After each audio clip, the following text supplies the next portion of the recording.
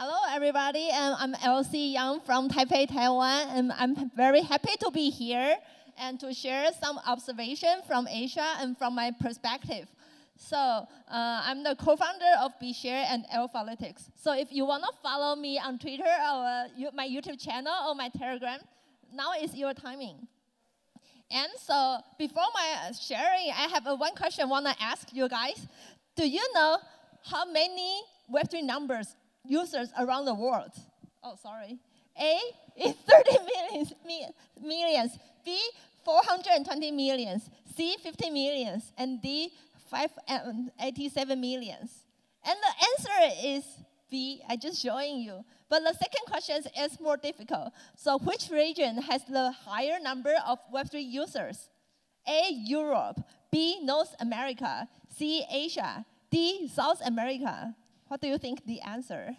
See, yes. the C is Asia. So we can see here with over 420 million crypto users, Asia has the most, 20 and 60 millions, 260 millions. And the remaining is from China, India, and Vietnam. And we can also see the adoption rate about cryptocurrencies around the world. And the emerging market like Southeast Asia is the highest. But we can see like in here, it's now and it's the pre-bull market. So even now, the bear market, the adoption rate is still higher than before. And why we are talking about adoption rate? Because we can see here, the Vietnam and the Philippines are the top one and top two adoption rates around the world. And the adoption rate is made by Chainalysis. And they just like do some research and survey around 146 countries and to get this answer. And so why the Southeast Asia is the highest adoption rate? And the first thing is they have so many people. And the second thing is like the play to earn model is works in Southeast Asia. So we are talking about each country step by step. And the first one I want to talk in is about Vietnam. I don't know if you guys have been to Vietnam. Vietnam is very crowded. They have so many people. And the most important thing is in Vietnam, there are 20 million Vietnamese have the cryptocurrencies, and 17% are young people, and they really like GameFi. So this is the reason why STEPN or Axie Infinity is so popular in Vietnam. But other than the GameFi, the Vietnam, because they have so many people working overseas, so they have a very big amount to do like transfer money back to their hometown. So Vietnam, they have around like three to 3.5 billion every year they need to remit to their hometown. So they are choosing cryptocurrencies as a way to transfer because it's easier and cheaper. And second thing is Axie Infinity, the most popular GameFi around the world, is from Ho Chi Minh City. And other than Axie Infinity, there are still some very popular projects like Kyber Network and Coin98. So this is Vietnam. And the regulation in Vietnam, right now, the cryptocurrency is not legal. But uh, last year, last May, their government has announced like they are becoming regulation Vietnam, uh, cryptocurrencies in Vietnam. Oh, so second country we are talking about is Philippines. Philippines is very beautiful for there are so many small islands, and they have more people than Vietnam, and their annual income is a little bit higher than Vietnam. But the same as Vietnam, they have so many people working overseas. So they need a cheaper and faster and secure way to do remittance markets. And Vietnamese, they also really like GameFi. And the most like famous GameFi guild, YGG, is from Philippines. And another famous project is HaloDAO. Halal Dao is about the next generation payments in Philippines. And they aim to lower the bar barriers for crypto by providing a liquidity for the local stable coins.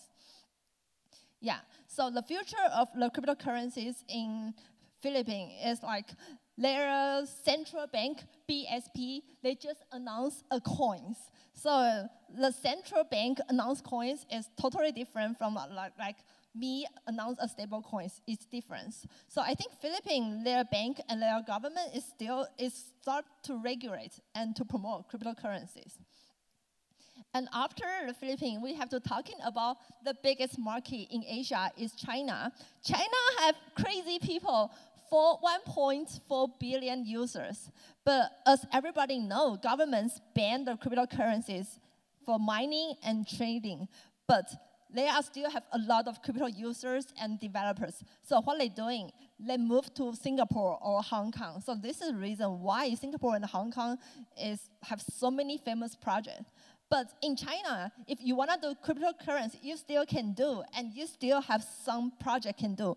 But you can see the relationship between this kind of project is they have a very good relationship with governments. So if you want to do the cryptocurrencies or Web3 or blockchain in China, you need to build connection with the government. And NEO is the Chinese Ethereum, and VeChain is their layer one blockchain, and Huobi is the popular exchange right now. Yeah. And speaking of China, because they are banned cryptocurrencies, so they need a door or a gateway to the Chinese market. So Hong Kong is your choice. And you can see the Coinbase CEO Armstrong, he just saying like, in the future, crypto is open to everyone in the world. EU, UK, and now Hong Kong. He think America, they just be more conservative and more regulations. So Hong Kong is a good spot for us. And another thing is important is this June, like four days ago, Hong Kong just kicked off a new rules about virtual asset trading platform operators. And the Huobi CEO, Justin Sun, he just published like, oh, Huobi will got the license ASAP. So Hong Kong right now is just like a digital assets raw sandbox for China. So if you wanna do marketing to Chinese, I think Hong Kong is your best choices. And another thing is Hong Kong, they just like so many VC from China or from Hong Kong, from traditional finance, they are trying to do uh, cryptocurrencies right now. And there are so many government grants. So if we wanna do some marketing in yeah, Asia, I think Hong Kong is the best choice for now because they are be more open than before and they have so many money. And there are some very famous projects. And like Animoca Brands is a very famous metaverse and GameFi investors. Yes, and talking to Hong Kong, we have to speaking of Taiwan is next to Hong Kong and have some political issues with China. And in Taiwan, because uh, we have the top three FTX users, so we are a big victims of, of FTX. So right now, the government is being more conservative and they have more regulations right now. And Taiwan's famous project, of course, is my project, just kidding. And famous project right now, maybe Cybavo is for security, and Perpetual Protocol is for DEX liquidity tools. Yes. And after Taiwan, we, well, I want to talking about Korea. And Korea not only famous for kimchi and Blackpink, they're also famous for Luna and UST Do Kwon, right? But if you're thinking about the government, maybe after the Luna, maybe they will be more conservative, but it's totally wrong because Korea government, they just announced a digital new deal. They say they want to be the top five largest metaverse adopted country. So they invested a lot. They say they will invest like 186 million US dollars just to invest in metaverse. So they will use all their resources to building a metaverse kingdom in Asia, in Korea. And they say they will cultivate more than 40,000 experts in the metaverse. So if you want to do some metaverse, maybe you can check Korea because they have so many resources and the government support it. And there are some very famous projects like CryptoQuant, NFT Go, and it's all about data projects in Korea. And so the future of cryptocurrencies regulation in Korea, I think if you want to do metaverse, it's very nice for you. And another thing, like they just passed the Virtual Asset User Protection Act. And the next stage, they will promote the insurance and disclosure of virtual assets. So I think it's very important and it's very positive for cryptocurrencies company, company and users in Korea. And after Korea, we have to think, think about Singapore. Singapore, they are the most open and more freedom for the financial, for the fintech, and they are also the fourth most crypto-ready hub in the world. And you want to know the first one is London, second one is Dubai, and third one New York, and the fourth one is Singapore. It's like a very important hub in Asia. But Singapore, they are more conservative now because FTX, like a big attack on Singapore government. So, uh, but Singapore still have so many famous projects like Nansen, the on-chain data tools, or Neumann, or Apollo. So the future of cryptocurrency regulation in Singapore, uh, the first thing is like the banks, if you want to do cryptocurrency, you need collateral like 1.25 equals one US dollars. And second thing, they just announced a new policy last January before FTX. They are be more conservative. The cryptocurrency services, you cannot do advertisements in public areas. But consider of the Singapore's background, still be a very open and freedom country for Asian markets, but it's not as positive as before. So maybe this is a timing for Hong Kong to do more. And the last country I want to share is about Japan. Uh, Japan, you, we have to know, like uh, 2014, they are the biggest Bitcoin and trading volume around the world. But they have two like hacker like attack their exchange. So the government in Japan, they be more conservative and they have so many regulations. But this is also the reason why they can survive from the FTX. So right now, Japanese government is changing. They are different because Japan is famous for their IP, their animes. So the government is support their NFT and Web3 games to utilize their IP. So right now, because uh, also they have a very strict regulations. So this can minimize the downside and the risk. So maybe if you wanna collab with IP and you wanna do some NFT project, Japan is a good choices for you guys. And the famous project in Japan, maybe like Crypto Ninja or Azuki, some NFT project is very famous there.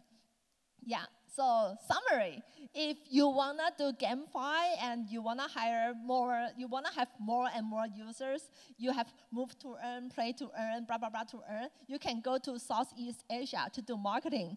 But if you wanna say that uh, Asia headquarter, I think Singapore or Hong Kong. But depends. If you wanna do marketing with, if you wanna marketing Chinese, you can do Hong Kong. But if you want to do Southeast Asia, I think Singapore is better.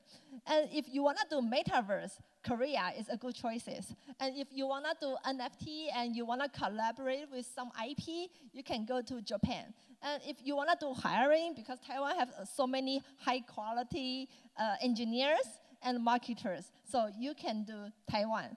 Yes, and this is my sharing and observations. Thank you, Do.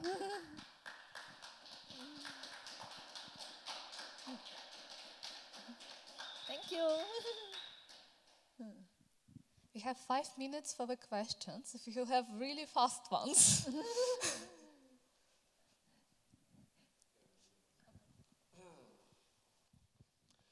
Yeah, thank you for your presentation. So if I may ask, are you familiar with Astar network, which is like a really big Jap Japanese-based blockchain right now? So are you familiar with Astar? Yeah, yeah, you do. So, and what, what do you think about it? Because they are doing like a lot of, you know, NFT cooperations, even with government. They did a hackathon with Toyota recently. They are doing some NFT collections with uh, like biggest railway operator in in Japan. So they are actually doing a lot of stuff. So, so I was thinking if you if you know the project actually, or or not really. So, sorry, can you can you brief your question again? I'm not. Uh, so if you are familiar with the Astar project, Astar network, yeah. Astar, what is Astar? Uh, it's like a smart smart contract platform. Uh-huh. It's like a, it's being said is like the biggest Japanese project right uh-huh, now. So, uh-huh, so, so, so I was wondering if you know uh-huh. it. Uh-huh. Oh, sorry, I'm not very familiar with that part. Oh, yeah, yeah, sure, okay. Thanks. Uh, uh, but I joined the Tokyo Crypto Week on March, but um, I think the vibe is very different from the European and the States. Because when I went to the States, like Denver or um, other crypto project, I can see so many crypto investors And but when I went in Tokyo, just joined the Ethereum week, all I see is smart contract uh, engineers. There is not a lot of uh, investors. But Japan, so many like Animoca or some GameFi, they're just doing like acquiring IP there, and they do marketing in Southeast Asia. Yeah.